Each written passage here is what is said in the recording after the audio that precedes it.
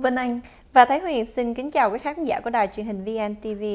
Và sau đây xin mời quý vị theo dõi phần tin tức trong ngày của chúng tôi.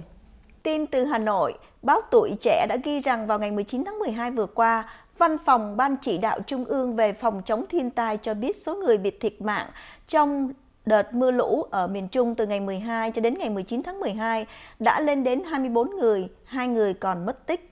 Trong số 24 người chết, Khánh Hòa có 2 người, Thừa Thiên Huế 5 người, Bình Định 16 người, Phú Yên 1 người. Ngoài hai người mất tích ở Bình Định còn có 16 người bị thương, Phú Yên 6 người, Quảng Ngãi 8 người, Quảng Nam 2 người.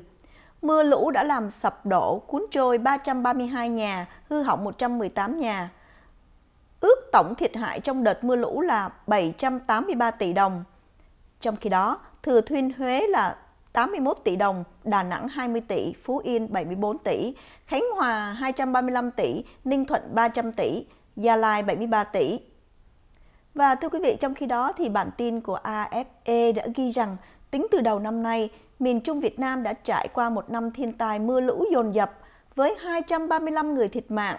Thiệt hại tính chung từ đầu năm nay đã lên tới 38.000 tỷ đồng, tương đương 1.7 tỷ đô la Mỹ.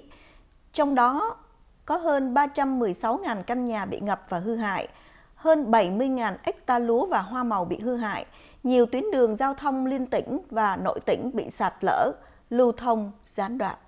Bản tin từ New York, Giám đốc John Krapsik của nhánh Waymo thuộc công ty kỹ thuật Google loan báo hôm thứ Hai rằng 100 chiếc Pacifica do Chrysler chế tạo tham gia chương trình thực nghiệm xe tự lái.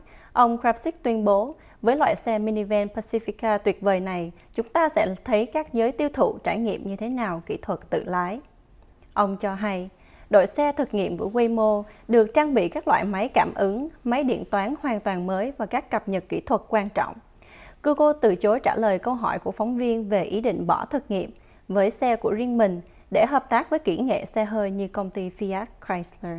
Tin từ Hà Nội, bản tin VOA ghi rằng, theo báo chí Việt Nam, Công an tỉnh Thanh Hóa hôm 18 tháng 12 đã bắt Nguyễn Danh Dũng, 29 tuổi, để điều tra về tội lợi dụng các quyền tự do dân chủ, xâm phạm lợi ích của nhà nước, lợi ích hợp pháp của tổ chức, công dân, quy định tại Điều 258 Bộ Luật Hình sự của Việt Nam.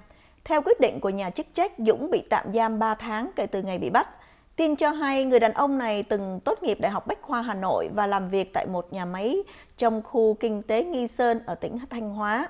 Phía công an nói rằng họ đã bắt quả tang Dũng vào ngày 16 tháng 12 khi anh đang đăng tải và phát tán video clip có tiêu đề nội dung xuyên tạc, bôi nhọ, hạ uy tín các lãnh đạo đảng, nhà nước và lãnh đạo địa phương trên mạng Internet. Công an cũng cho hay họ đã thu giữ nhiều tài liệu tăng vật cho thấy từ tháng 10 năm 2015, Dũng đã tạo và quản lý các tài khoản trên các trang mạng xã hội để đăng tải các video clip hoặc bài viết bị cho là bịa đặt, bôi nhọ nhiều nhà lãnh đạo ở các cấp khác nhau. Trong những năm vừa qua, nhà chức trách Việt Nam đã áp dụng Điều 258 để bắt và bỏ tù nhiều người bất đồng chính kiến. Việc này bị các nước phương Tây cũng như một số tổ chức bảo vệ nhân quyền quốc tế phản đối và lên án. Bản tin từ Beijing, lệnh báo động đỏ 5 ngày về ô nhiễm không khí vừa được ban hành khắp miền Bắc Hoa Lục.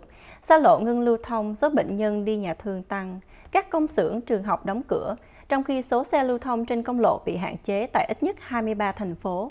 Đây là lần đầu tiên từ khi thủ đô Beijing thực hiện biện pháp ứng phó ô nhiễm, tương tự với 22 triệu dân. Truyền thông nhà nước cho hay hơn 700 hãng xưởng tại thủ đô Beijing ngưng sản xuất trong khi hệ thống y tế công cộng chuẩn bị đáp ứng số bệnh nhân cần chữa trị về hô hấp. Các nhà máy sản xuất than và xi măng của tỉnh Hebei tạm ngưng hoạt động. Theo dữ liệu của Tòa Đại sứ Hoa Kỳ thẩm định về phẩm chất không khí tại Beijing không quá tệ như lo ngại, với chỉ số hạt ô nhiễm PM 2.5 là trên hay dưới 200 đôi chút, nhưng vẫn là cao gấp 8 lần mức khuyến cáo của Tổ chức Y tế Thế giới WHO. Tin từ Washington, đối với người mua sắm thì những tiệm outlet là tiệm bán rẻ hàng hiệu là nơi để mua hàng tốt với giá rẻ nhưng thực tế phải coi chừng. Một số công ty sản xuất một số mặt hàng để đưa ra tiệm outlet của công ty đó bán. Michelle Mathot chuyên gia về mua sắm và là sáng lập của công ty Shopify.com, nói rằng các tiệm outlet muốn người mua tin rằng họ đang bán các món hàng trái mùa đưa ra từ các tiệm chính nhưng hầu hết các món hàng bán ở tiệm outlet lại không bao giờ bán ở tiệm chính cùng thương hiệu.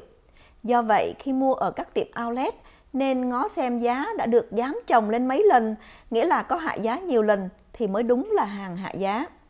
Edgar Goski, người sáng lập trang consumerworld.org, một trang hướng dẫn về mua sắm nói rằng ngay cả con số phần trăm hạ giá cũng không nói đúng sự thật, bởi vì nhiều món hàng được Nguyên Thủy nâng giá cao để rồi cho đại hạ giá và các con số giảm phần trăm đó sẽ hấp dẫn khách hàng. Đặc biệt một vài món hàng cần cẩn thận trước khi mua ở các tiệm outlet à, như là hàng da thú, thí dụ như là giày da, túi xách da. À, một chuyên gia về một trang mạng tên là Fat Wallet nói rằng về hàng coupon và hàng giá rẻ cho biết một số hàng da làm bằng hóa chất da tổng hợp trông như da thịt nhưng chỉ là màu da giả. Mỹ phẩm khi quá hạn có thể làm hại da mặt của bạn vì hầu hết mỹ phẩm là hóa chất và hàng điện tử quá hạn. Bản tin từ Washington, Tổng đốc của Quỹ Dự trữ Liên bang FED khẳng định trong phát biểu tại lễ tốt nghiệp của trường đại học Baltimore, kỹ thuật tiến bộ và toàn cầu hóa đòi hỏi trình độ học vấn cao đẳng để tìm và giữ được việc làm lương cao. Bà Janet Yellen nói rõ, giáo dục bậc cao tiếp tục là quan trọng với thịnh vượng của đất nước. Bà Giao Linh không nói tới chính sách tiền tệ trong dịp này, nhưng xác nhận những người tốt nghiệp bậc cao đẳng được tuyển dụng tại các thị trường việc làm mạnh nhất từ nhiều thập niên. Tỷ lệ thất nghiệp tại Hoa Kỳ hiện là 4.6%, thấp nhất 9 năm và các nhà hoạch định chính sách của FED đã cho tăng lãi suất căn bản lần thứ nhì từ 10 năm. Thống đốc Yellen nhận xét rằng lương bổng tăng trong khi khả năng tăng năng suất là yếu đến mức thất vọng. Bà nhắc lại với sinh viên tốt nghiệp, lương của họ sẽ cao hơn 70% so với thành phần chỉ học hết bậc trung học. Quý vị vừa theo dõi phần tin tức với Vân Anh và Thái Huyền. Và nhân dịp Giáng sinh về, Thái Huyền xin kính chúc quý khán thính giả của đài truyền hình VNTV một mùa Giáng sinh thật an lành và nhiều niềm vui. Vân Anh cũng xin kính chúc quý vị khán thính giả một Giáng sinh thật là nhiều hạnh phúc và năm mới 2017 thật là may mắn. Và sau đây xin mời quý vị tiếp tục theo dõi những chương trình còn lại của VNTV San Diego.